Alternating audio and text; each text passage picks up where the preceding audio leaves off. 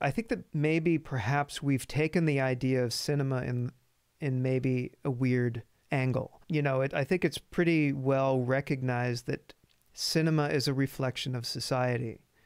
And this is again what I'm what I mentioned before seems to be taking it to the discursive level rather than the narrative level.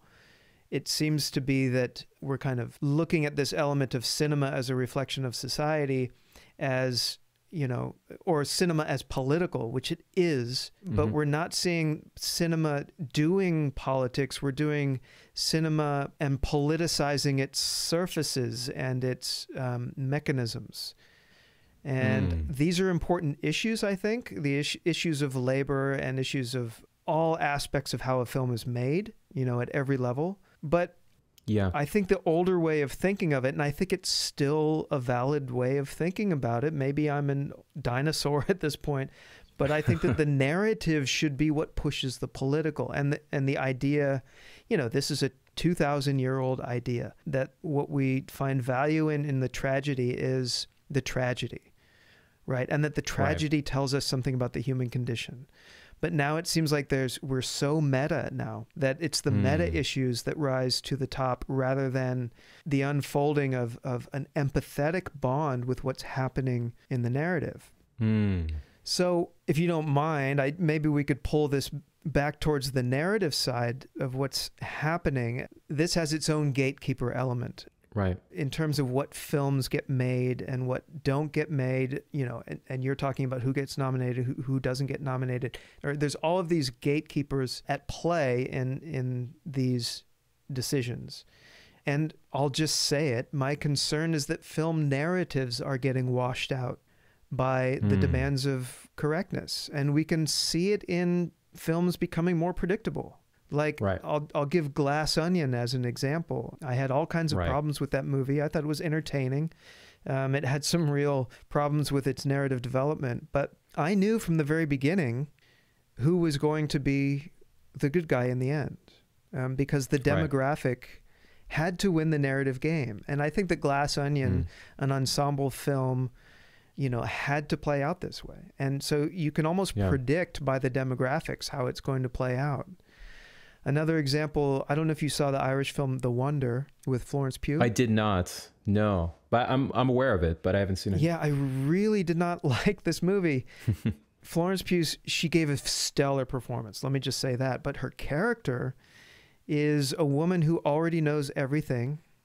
She doesn't change at all through the course of the film, and in the end, she's right. And to me, this is just poor filmmaking. It, it there's no Yep. arc of of self doubt and you know taking stock. Uh, there's no reversal. There's no there's a challenge obviously that she has to face, but she's just steadfast and she's exactly the same in the beginning as she is at the end. And so, you know, you were talking about risks and I'm right on board with you. I feel like cinema has lost its boldness of antagonizing and taking a risk. Mm. And part of what cinema should do to be political is to antagonize its viewers. Hmm or you know it, there, if there is antagonizing going on it, it seems to me very talky and very expository and kind of you know and again women talking which i think is a is a is a is a very good film and we can talk about that later but that's an example of Mhm. you know again the expository way of playing something out but it's all very at the level of conversation. So i think cinema has always been about progressive social change but this wave seems to be too obvious to hold any tension and I feel like Mm. the studios are now built to avoid bad press.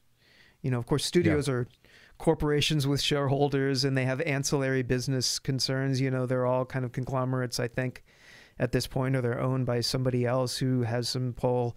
So there's reluctance to be dangerous. But I think what I'm saying is I'd really like to see a return of cinema's sense of risk and danger. And I haven't seen any indication of that yet. Yeah, and I think there are films which kind of represent certain sorts of experiences or, or people that are have been underrepresented for a long time, which do this very well. And I'll mention 2 off mm-hmm. the top of my head. I think the work of Barry Jenkins, for example, particularly mm-hmm. if Beale Street could talk, Great movie. manages to have this sense of, of revelation Mm-hmm. and takes risks aesthetically that I feel like, you know, the characters maintain their ambiguity and richness. And in fact, the issues that he's representing and highlight are even more powerful because of this. Where a film like you mentioned, Glass Onion, or The Wonder, even though I haven't seen it, but the way you're describing it makes it sound like this, kind of give you a representation of politics rather than actually an articulation or expression of politics. I think revelatory art, cinema, is an actualization of politics. And it, the, the film itself, in its risk taking, in its revelations, manages to do this. Whereas I think Glass Onion is just saying, well, we all agree that this should happen. So I'm just going to represent that, you know? Mm-hmm.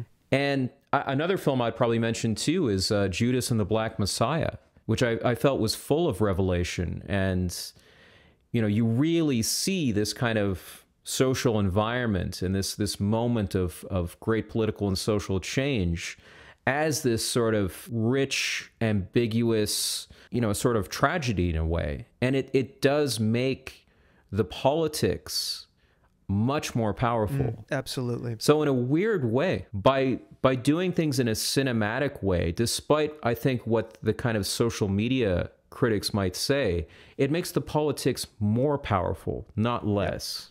Yeah. And that's I think what we're both advocating here in a way. Mm-hmm